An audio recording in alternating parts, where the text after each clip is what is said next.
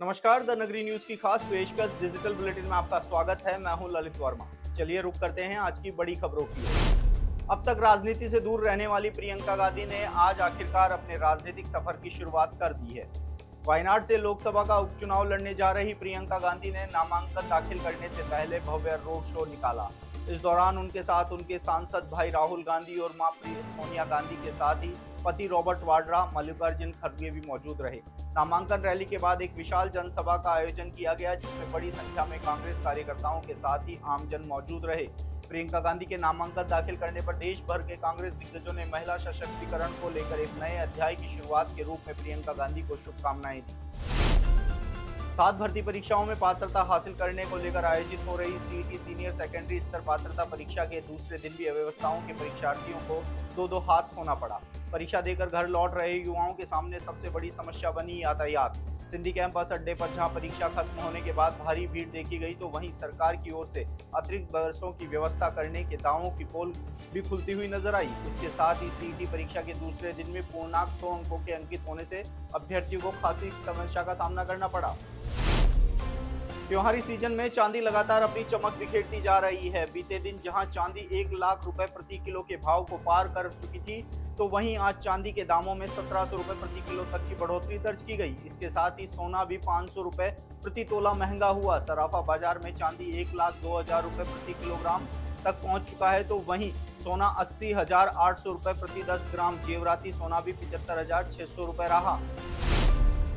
अपनी आठ सूत्री मांगों को लेकर रेजिडेंट डॉक्टर्स हड़ताल पर हैं और प्रदेश भर के सरकारी अस्पतालों में मरीजों को खासी समस्या का सामना करना पड़ रहा है। ओपीडी और आईपीडी लगातार कम होती जा रही है तो लगातार ऑपरेशन भी टाले जा रहे हैं। इसके साथ ही गंभीर मरीजों को भी इलाज नहीं मिल पा रहा है। रेजिडेंट डॉक्टर की हड़ताल मामले में हाईकोर्ट ने प्रसंज्ञान लिया है। हाईकोर्ट ने मामले में चिकित्सा, शिक्षा विभाग, एसएमएस, मेडिकल कॉलेज प्रशासन और Jaipur association of resident doctors के प्रतिनिधियों को सम्मन जारी किया है। गौरतलब है कि पिछले 16 दिनों से अपनी मांगों को लेकर रेजिडेंट्स हड़ताल पर हैं।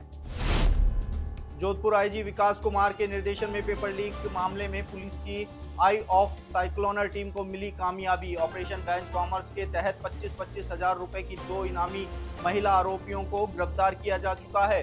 पुलिस ने संगीता को सांचोर और भौरी को पुणे से गिरफ़्तार किया है। आईजी विकास कुमार ने बताया कि दोनों ही कैंडिडेट डमी अभ्यर्थी के रूप में काम में ली जा रही थी। साथ ही 2021 के लंबित एक मामले में दोनों को गिरफ़्तार किया गया है। संगीता और भंवरी की गिरफ्तारी के बाद आईजी विकास कुमार ने कहा है कि युवाओं के जीवन के साथ खिलवाड़ करने वाले अपराधियों को पड़ताल से खोज निकालना हमारा लक्ष्य है।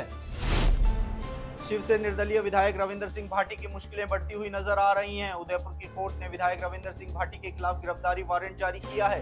इसके साथ ही अदालत ने भाटी को 14 नवंबर तक कोर्ट में पेश होने के आदेश दिए हैं। गौरतलब है कि पेशियों से जुड़े मामले में रविंद्र सिंह भाटी की गैर हाजिरी रहने के चलते कोर्ट ने गिरफ्तारी वारंट जारी किया है। देश की राजधानी दिल्ली में बढ़ता प्रदूषण बड़ी समस्या बनता जा रहा है और प्रदूषण को कम करने को लेकर अब कई सख्त कदम उठाने शुरू कर दिए जा चुके हैं। Delhi graded response action plan के दूसरे चरण ग्रेड टू से जुड़े प्रतिबंध लागू कर दिए गए हैं। इसके साथ ही दिल्ली में पड़ोसी राज्य अब डीजल बसें नहीं चल सकेंगी। इसको लेकर दिल्ली के परिवहन मंत्री गोपाल राय के साथ ही राजस्थान, हरियाणा और उत्तर प्रदेश के परिवहन मंत्रियों को भी पत्र लिखा गया है।